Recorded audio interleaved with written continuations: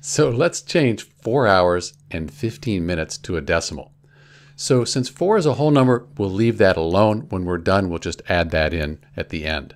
It's this 15 minutes, that's what we need to figure out. So there are 60 minutes in an hour.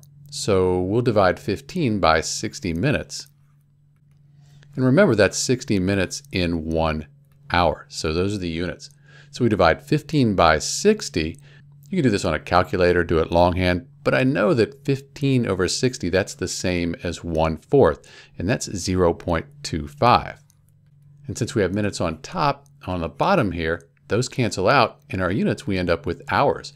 So 15 minutes as a decimal is 0.25 hours. Now we just add this back to the 4 hours.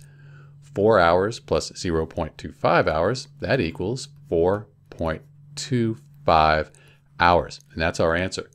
So 4 hours and 15 minutes, that's the decimal 4.25 hours. This is Dr. B, and thanks for watching.